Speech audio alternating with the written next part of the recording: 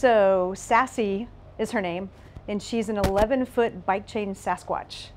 When I was growing up, I always loved to spend time in the woods, you know, go fishing, just, you know, building forts and playing with my friends in the woods. And we would always tell stories about Bigfoot and try and spook each other, you know, scare each other like, oh, I wouldn't go in that little area because Bigfoot might be there. So I just thought it would be kind of cool to make a giant Bigfoot. So her frame I built out of steel, but the fur on her is made of bike chain. Makes a lot of people kind of do a double take, you know. And it makes for perfect fur. It's really cool the way that it lays on top of each other and I can kind of make some of it come out. It's just a, it's a really cool material. I have done over 10,000 welds on her to get her built. It took me six months to build her. I love to bike and I love to use recycled materials in my art. I think it's just kind of a cool thing to incorporate, you know, something that you normally wouldn't expect to see in a piece of art. She's super goofy. Her eyes are going to light up at night. She has solar pan panels built into her head.